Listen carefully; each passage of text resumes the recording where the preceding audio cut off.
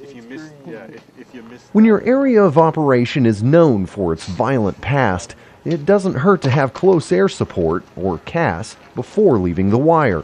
Soldiers patrolling Korengal Valley know they have that support thanks to the JTACs attached to their company. Basically, we go out on every foot patrol uh, with this company here. We're assigned to the company here in the Korengal Valley, and we pretty much go on every patrol. Having the two man team along for patrols means the ground commander has a liaison communicating their intent with the pilots watching over the troops from the skies. Just provide overwatch, just have aircraft presence in the area is a big, big boost to uh, soldiers on the ground, just to know that the aircraft is there. But the aircraft isn't there for moral support, and as the name implies, the JTACs are there to control the fight. Sometimes, uh, sometimes the guys on the ground can't defend themselves in a sense. Uh, right, mortars and artillery, they can sometimes get the job done, but if they can't, then they rely on CAS.